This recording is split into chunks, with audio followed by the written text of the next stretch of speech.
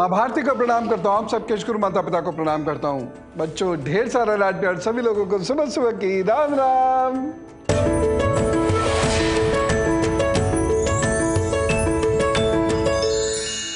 आज कुछ विशेष प्रश्नों पर बात करेंगे जो हमारे आपके मन में अक्सर उठते होंगे।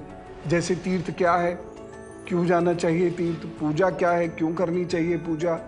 दातुन क्या है? घास यानी दूब, ये क्या है इसमें जो ये देवता को अर्पित की जाती है? श्री गणेश जी इससे प्रसन्न होते हैं। ऐसी ढेर सारी बात करेंगे और साथ ही साथ उन बच्चों की बात करेंगे, जिन बच्चों के बाल बहुत कम उम्र में हल्के हो जाते हैं। चलिए बातचीत शुरू करते हैं। आपके मन में कभी कभी अक्सर ये बात उठती होगी कि पूजा क्यों करें? पूजा ज़रूर करनी चाहिए, क्योंकि मनुष्य जो है, वो भौतिक और पराभौतिक दोनों स्थितियों से एक साथ जुड़ा हुआ होता है। अभी आधुनिक विज्ञान इस स्थिति की गहराइयों को समझने का प्रयत्न कर रहा है। किसी दिन उत्तर मिलेगा अवश्य, लेकिन हम शास्त्र पर जाएँ, बड़ा स्पष्ट उत्तर मिलता है कि मनुष्य की दो स्थितियाँ एक साथ चलती है, यानी एक ब्रेन फॉर एग्ज़ाम्पल एक ब्रेन और एक ब्रेन के अंदर का थॉट यानी विचार।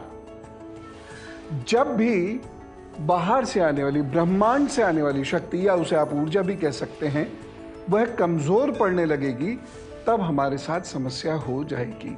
वो शरीर की समस्या भी हो सकती है, विचार की समस्या भी हो सकती है, वो हमारे काल की, यानी हमारे और परेशानियों की समस्या भी हो सकती है।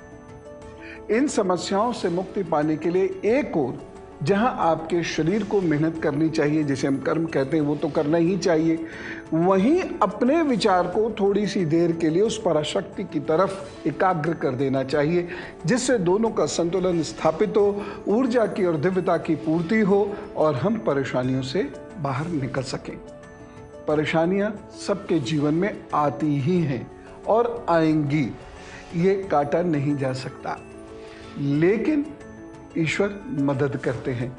जब हम इस बात को कहते हैं तो उसका अर्थ यह है कि हम उनसे जब जुड़ जाते हैं तो वह कुछ अपने आप से ऐसे रास्ते खोल देते हैं कि हम परेशानियों से बाहर आते हैं। ठीक है ना? इसलिए पूजा करनी चाहिए, क्योंकि वह हमारे तन मन को दुरुस्त भी करती है, साथ ही साथ जिसने हमें बनाया उसका धन्यवाद भी हो जाता है, और जहाँ कोई भी कमी रह जा रही है हमारे भाग्य में अथवा शरीर में अथवा विचार में वह कमी भी दुरुस्त होती है। अब हम बात करते हैं मेष, वृषभ, मिथुन और कर्क राशि की। मेष राशि, संभल के चलने की ज़रूरत है। दिन बहुत अच्छा नहीं कहा जा सकता। प्रतिष्ठा का विशेष ध्यान रखकर चलिएगा। बाकी एक छोटी सी सावधानी बरत लें। किसी बुज़ुर्ग से आपका पंगा नहीं होना चाहिए, उनका अनादर नहीं होना चाहिए, और भोजन ज़रा हल्का लीजिएगा। उपाय क्या करना है? इस दिन को बेहतर बनाने के लिए आपने मीठी रोटी मीठी रोटी गौ माता को खिलानी वृषभ राशि ये समय आपके लिए थोड़ा सा प्रतिकूल है। मानसिक चिंता लगी रहेगी घर और बाहर, दोनों जगह परेशानी महसूस करेंगे। लेकिन दोपहर बाद धीरे धीरे स्थिति थोड़ी बेहतर होगी, लेकिन संघर्ष बना रहेगा। सावधानी क्या रखिएगा? बुद्धि, विवेक और वाणी तीनों नियंत्रित रहे और तीनों में संतुलन रहे। उपाय क्या करना है? दिन को बेहतर बनाने के लिए सबसे पहले तो झटके से कोई सामान मत उठाइएगा। कमर को नुकसान हो सकता है। और दूसरी महत्वपूर्ण बात आप ओम नमः शिवाय शिवाय नमः ओम का जप करके फिर अपने काम पर जुटिए और सब ठीक करेंगे। मिथुन राशि समय आपके लिए थोड़ा सा प्रतिकूल हो सकता है धन को लेकर लेकिन कोई बड़ी परेशानी नहीं है। लगातार मेहनत करते रहिएगा, थोड़ा सा धैर्य रख लीजिएगा तो चीज़ें अपने आप ठीक हो जाएँगी। बस एक सावधानी आवश्यक है। यदि आपको कोई एलर्जी रहती है तो ज़रा ध्यान रखिएगा। और दूसरी बात, आज अपना धन बहुत सोच समझ कर खर्च कीजिएगा। उपाय क्या करना है इस दिन को बेहतर बनाने के लिए? आप पाँच फलों का दान अवश्य कर दें। कर्क राशि। ये समय थोड़ा सा कमज़ोर है। आज व्यथित हो सकते हैं, कुछ स्वास्थ्य को लेकर समस्या हो सकती है, जिनसे प्रेम से मन चल रहा है, वहाँ भी कुछ दिक्कत हो सकती है। यात्रा में भी थोड़ा सा कष्ट होता हुआ दिखाई दे रहा है, लेकिन फिर भी कुल मिला के वक्त अच्छा है, चिंता करने की ज़रूरत नहीं है। एक सावधानी ज़रूर रखें, इस दिन सोच समझ कर बोलें। और किसी अजनबी से कोई विशेष घरेलू बात ना करें। उपाय क्या करना है? दिन को बेहतर बनाने के लिए दूध या दूध से बनी हुई चीज़ों का दान ज़रूर करते हैं एक व्यथा लेते हैं।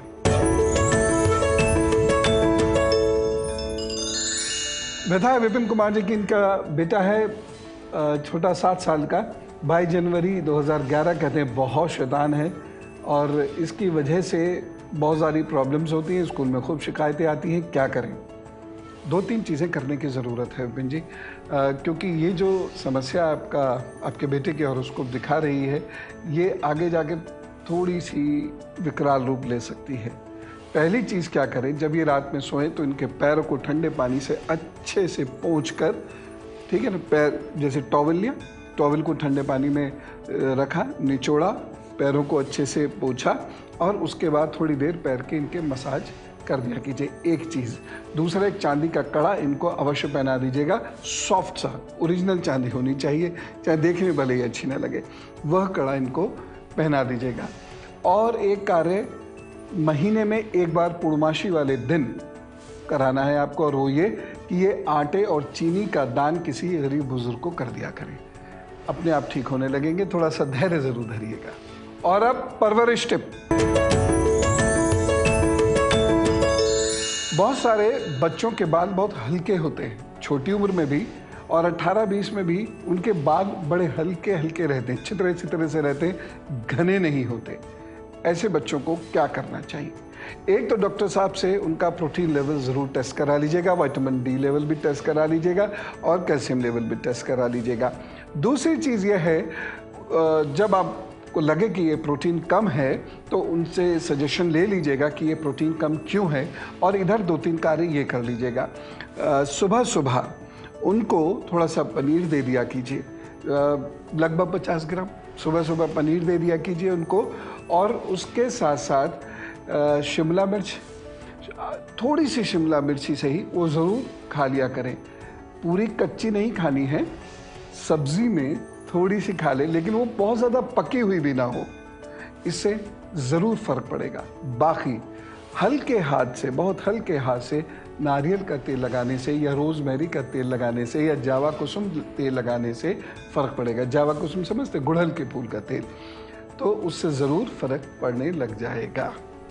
और तीर्थ की बात करते हैं। बहुत सारे लोगों को तीर्थ यात्रा में बहुत विशेष रुचि होती है। आपने बुज़ुर्गों के मुँह से सुना भी होगा कि तीर्थ के बिना कल्याण नहीं हो सकता। चार धाम की यात्रा करनी है। साथ ही साथ आपने सुना होगा श्रवण कुमार के बारे में भी। वह सिंबल बन गए हैं माता पिता को माता पिता की सेवा की माता पिता की आज्ञा मानने के सिंबल प्रतीक बन चुके हैं भारत के अंदर। वो क्या कर रहे थे? तीर्थ ही घुमा रहे थे। तो ये तीर्थ इतना महत्वपूर्ण क्यों है? ये आज बताता हूँ। तीर्थ का अर्थ है वह स्थान जहाँ व्यक्ति भव सागर पार करने का ज्ञान अथवा शक्ति प्राप्त करता है। तीर्थ तीन प्रकार के होते हैं। जंगम, स्थावर और मानस। जंगम तीर्थ का अर्थ है वह स्थान जहाँ ऋषि, मुनि आचार्य आपके गुरु विराजते हैं, यह जंगम तीर्थ है। वहाँ जाने से जो ज्ञान मिलता है, वहाँ जाने से जो आशीर्वाद मिलता है, वो भव सागर को पार करने में मददगार सिद्ध होता है, इसलिए वहाँ जाना चाहिए। दूसरा है स्थावर, यानी एक ऐसा स्थान जो दिव्य ऊर्जा से, दिव्य शक्ति से ओतप्रोत है, और वहाँ जाने से या वहाँ बैठकर पूजा साधना करने से आपको भव सागर के पार उतरने में मदद मिलती है। उसके अनेक कारण हो सकते हैं कि वह स्थान इतने शुद्ध पवित्र क्यों है। लेकिन वहाँ भी जाना चाहिए। और तीसरा है मानस तीर्थ, जिसका अर्थ है मन में तीर्थ है हमारे, मन में तीर्थ है। और इस तीर्थ का दर्शन हमें रोज करना चाहिए। जैसे हम कहते विचारों की शुद्धि तीर्थ है जैसे इंद्रियों पे नियंत्रण रखना चाहिए, जैसे सब प्राणियों पर करुणा करनी चाहिए, आदि आदि मानस, यानी मानसिक स्थितियों की श्रेष्ठता जिसकी वजह से हम भवसागर पार करेंगे, यह भी तीर्थ है। तो जब व्यक्ति इन तीनों तीर्थों से संपर्क करता है, तब उसकी तीर्थ यात्रा आगे बढ़ती है, अन्यथा रुक जाती यानी किसी स्थान विशेष पर जाकर घूम के आ जाना तीर्थ नहीं कहलाता। एक चीज़ है दूब। गणपति जी को दूब अर्पित की जाती है। अब आप सोचते होंगे कभी, बताइए क्या घास ये उखाड़ी और धो के हमने गणपति जी को चढ़ा दिया। गणपति जी से खुश होते हैं। हमारे बहुत सारे कष्ट संकट भी उससे दूर होते हैं। हर पूजा में दूब का प्रयोग होता है। दूब की माला बनाकर देवता को अर्पित की जाती है। आखिर दूब में ऐसा क्या है? अभी बताता हूँ मैं, लेकिन सिंह, कन्या, तुला और वृश्चिक राशि का हल बताने के बाद। सिंह राशि अच्छा वक्त है। जम के मेहनत कीजिए, आगे बढ़िए। लाभ मिलता दिखाई दे रहा है, बस एक सावधानी रखिएगा। इस दिन अपने कंधे, पेट और बड़े भाइयों का, बड़े बहनों का ध्यान रखिएगा। उपाय क्या करना है? इस दिन को बेहतर बनाने के लिए गायत्री के मंत्र का जप कीजिए, फिर अपने काम पर जुटिए, प्रभु सब ठीक करेंगे। कन्या राशि। यह दिन लाभ का है, इसलिए मेहनत से आगे बढ़ते रहिए। लाभ ज़रूर प्राप्त होगा। बस एक सावधानी की आवश्यकता है और वो ये है कि कोई ऐसा व्यक्ति जो आपके घर का है, उससे आपका मनमुटाव ना हो जाए, इस बात का विशेष ध्यान रखिएगा। उपाय दिन को बेहतर बनाने के लिए बेसन का दान ज़रूर करिएगा। तुला राशि, बहुत अच्छा दिन नहीं कहा जा सकता, परेशानी हो सकती है आपको, इसलिए आप बहुत सोच समझ कर ही कोई बात कहें अथवा निर्णय लें अथवा नौकरी आदि बदलें। सावधानी, इस दिन अपनी कीमती चीज़ को जरा बचा कर रखने में आपका लाभ है। उपाय क्या करेंगे? इस दिन को बेहतर बनाने के लिए उड़द की दाल का दान ज़रूर करिए। वृश्चिक राशि, भाग्य पक्ष कमज़ोर है, मन थोड़ा सा चिंतित रहेगा, लेकिन फिर भी दिन खिंच जाएगा। हाँ क्रोध से बचना होगा। सावधानी रखनी होगी एक मित्र और माँ के साथ आपके संबंधों में। उपाय क्या करेंगे इस दिन को बेहतर बनाने के लिए? ओम रुद्राय नमः का जप करें, फिर अपने काम पर जुटे तो सब ठीक करेंगे। चलिए अब फटाफट लिखिए दिन के शुभ अशुभ समय। जो समय मैं आपको बता रहा हूँ, ये दिल्ली के हिसाब से है। अपने स्थानीय समय में थोड़ा सा अंतर हो सकता है, उसे आगे पीछे कर लीजिएगा। दो मुहूर्त लिखिए। ग्यारह बज के छप्पन मिनट से बारह बज के इक्यावन मिनट तक यमगन काल लिखिए। सात बज के तेरह मिनट से आठ बज के छप्पन मिनट तक गुलिक का लिखिए। दस बज के चालीस मिनट से बारह बज के चौबीस मिनट तक और राहु का लिखिए। बारह बज के चौबीस मिनट से लेकर दो बज के सात मिनट तक। शुभ समय। शुभ समय के नाम पर इस दिन ना कोई अभिजीत मुहूर्त है, ना कोई अमृत काल है। तो अगर कोई विशेष कार्य करना हो तो जो समय अशुभ है, इनको छोड़कर प्रभु का नाम लेकर आप कोई भी विशेष कार्य कीजिएगा। और अब दूब की बात करते हैं, घास की बात करते हैं। तो अक्सर मैं भी आप देखते होंगे, उपाय में बताता हूँ कि गणेश जी को हमें दूब घास अर्पित करनी चाहिए। वो उससे बड़े प्रसन्न होते हैं। आपने भगवान शिव की पूजा में भी देखा होगा। और बहुत सारे और ओकेजन्स हैं, जैसे जब विवाह होने जा रहा होता है तो जो तेल चढ़ाया जाता है, उसमें भी दूब घास का प्रयोग होता है। आखिर क्यों? ये कहने को सामान्य इधर उधर उगी हुई घास है, लेकिन ये ज़बरदस्त औषधि है। इसीलिए इसका प्रयोग किया जाता है पूजा में, और पूजा में जिन भी चीज़ों का प्रयोग किया जाता है, वो सब औषधियाँ अब दूब घास का यदि काढ़ा बना के आप पीते हैं तो आसानी से वायरल इन्फेक्शन नहीं हो सकता। और धीरे धीरे आपकी रोग प्रतिरोधक क्षमता बढ़ेगी। यद्यपि ये आसान नहीं होगा, क्योंकि हमें आदत तो वही पड़ गई है इधर उधर उगी हुई है ये देखने की और उस पर लोग चलते हैं, ठीक है ना? तो हमारा माइंडसेट वैसा बन गया। लेकिन जो लोग बहुत जल्दी जल्दी बीमार पड़ते हैं, वह आधा कप शुरू कर दें। तो इसके अंदर एंटी माइक्रोबल तत्व हैं जिसकी वजह से आपके शरीर की रोग प्रतिरोधक क्षमता बढ़ती है और यदि आपको बार बार वायरल इन्फेक्शन होते हैं या किसी अन्य किस्म के इन्फेक्शन होते हैं तो वो उससे काफ़ी हद तक ठीक हो जाते हैं। और साथ ही साथ यदि त्वचा में आपके फंगल इन्फेक्शन होता है तो वह भी इससे ठीक हो जाता है। दो घास इकट्ठी कीजिए, मिक्सी में पीस कर पेस्ट बना लीजिए और उसे उन जगहों पे लगा लीजिए जहाँ पर फंगस इकट्ठी हो जाती है और स्किन ख़राब होने लगती है। धीरे धीरे आप देखेंगे कि चीज़ें ठीक होने लगी ये रीज़न है। और इसके साथ साथ ये आपके पेट को दुरुस्त रखता है, लिवर को दुरुस्त रखता है, हाजमे को दुरुस्त रखता है। दातुन की बात भी करना चाहता हूँ। दातुन क्यों करनी चाहिए? ब्रश के मुकाबले दातुन बहुत बेहतर है। दांत मज़बूत करते हैं और जिस चीज़ से हम दातुन करते हैं, जब उसका रस पेट में चला जाता है तो पेट भी हमारा बेहतर होता है। आम है, खैर खैर से की दातुन तो बहुत ही गज़ब की होती है। नीम की दातुन बहुत गज़ब की होती है। यद्यपि आजकल थोड़ा कम मिल पाती हैं बहुत दिक्कत होती है, लेकिन फिर भी दातुन करने से हफ़्ते में एक या दो बार भी अगर हम दातुन कर लेते हैं, समय बहुत लगता है उसमें, लेकिन फिर भी कर लेते हैं तो हमारे क्या मसूड़े, क्या दांत, क्या पेट, ये सब बेहतर होना शुरू हो जाता है। और यदि परेशानियाँ, संकट बहुत ज़्यादा हैं तो बबूल की दातुन करने से तो बहुत फ़ायदा होने लगता है। और अब उनकी बात जिनका है आज जन्मदिन। दीर्घायुरारोग्यमस्तु। सुयशः भवतु। विजयः भवतु। जन्मदिन शुभेच्छा। आपके आगे आने वाले 12 महीने बहुत अच्छे हैं। जम के मेहनत करने के अच्छे परिणाम मिलेंगे। बस कुछ एक सावधानी ज़रूर रखिएगा।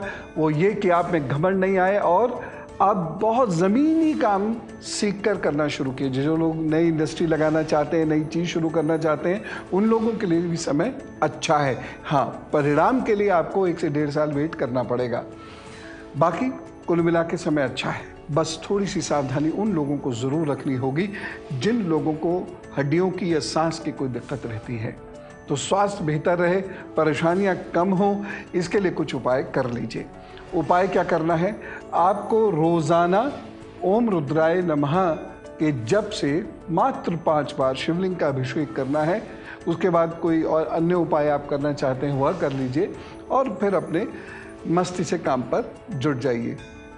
आप अपने स्वभाव को बहुत नरम बनाए रखिएगा, बस इतना ध्यान रखें। और हाँ एक चीज़ ज़रूर है, नीले काले कपड़े कम से कम पहनिए। सब अच्छा होगा। ऑल द बेस्ट अब सूर्य को जल क्यों दिया जाता है? ये देखिए। सूर्य को जब हम जल देते हैं तो हम एक निश्चित कोण पर आँख और सूर्य के बीच में जल को गिराते हैं, जो हमारी दोनों आँख के बीच से जल नीचे जाता है। और ऐसा करने से सूर्य की जो शक्तिशाली ऊर्जा और किरणें हैं, वो हमारी आँखों को, हमारी त्वचा को, हमारे मस्तिष्क को बहुत सकारात्मक ऊर्जा प्रदान करती है। इसलिए हम सूर्य को जल देते हैं और उससे हमारे अंदर आत्मबल बढ़ता है। साथ ही साथ सूर्य के सामने थोड़ी देर खड़े रहने से वाइटामिन डी बढ़ता है। हमारी हड्डियाँ, हमारी त्वचा बेहतर होनी शुरू हो जाती है। इसलिए सूर्य को जल ज़रूर देना चाहिए और 20 मिनट तकरीबन सूर्य के सामने एक दिन में ज़रूर बिताने चाहिए। धनु, मकर, कुंभ और मीन राशि का हाल जानिए।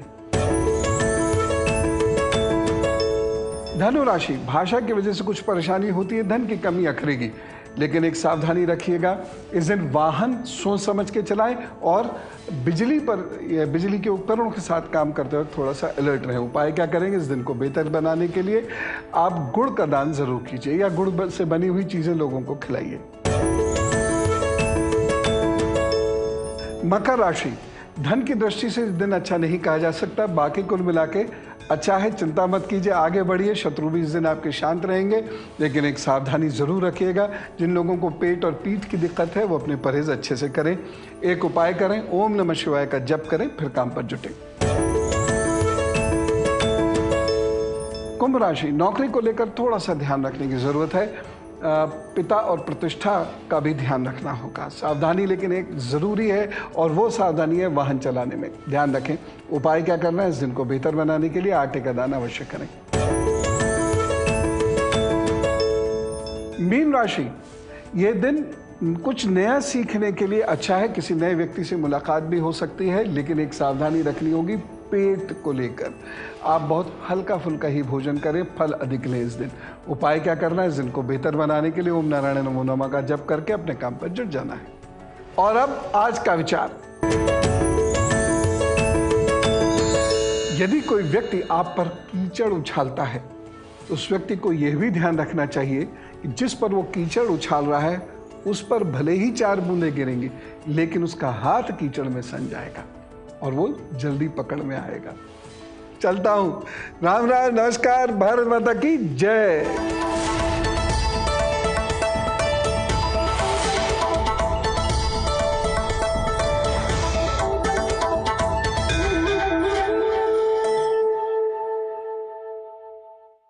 ये है एबीपी न्यूज़ आपको रखे आगे।